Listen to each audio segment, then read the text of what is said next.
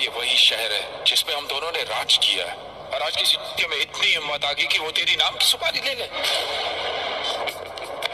अरे आने दे। अरे गद्दी पे